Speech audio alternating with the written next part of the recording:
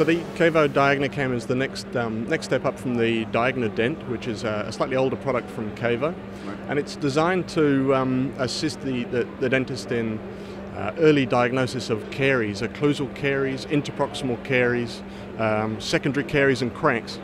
So what they've done with this um, with this new product is they've uh, turned it into a, a, a camera which utilizes a class one laser and uses the tooth a bit like a prism, and it means that the um, the, the light shines up through the tooth, um, making it easier to, uh, to diagnose those caries.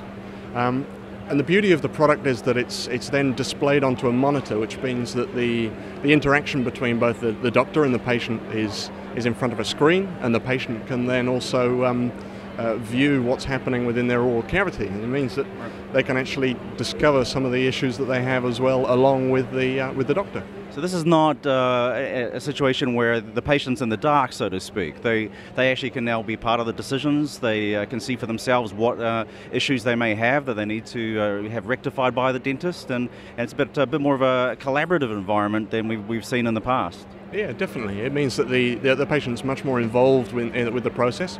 It means that the um, uh, being early diagnosis, the, the doctor doesn't have to um, uh, prescribe invasive procedures, they can also um, put together a plan, a treatment plan, which means that the, the patient doesn't have to have their, their tooth drilled.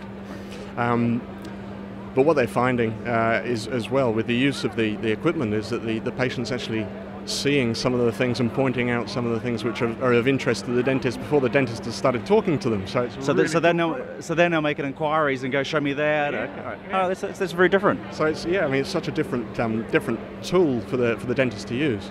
Uh, the treatment acceptance is obviously increased because they're not having to, to describe to the patient what's going on. They they show it to them on the on the using the camera, and um, and they take the next steps to, to better health, oral health.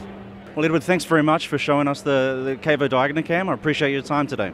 Yeah, thank you very much for showing an interest in this um, game-changing piece of equipment.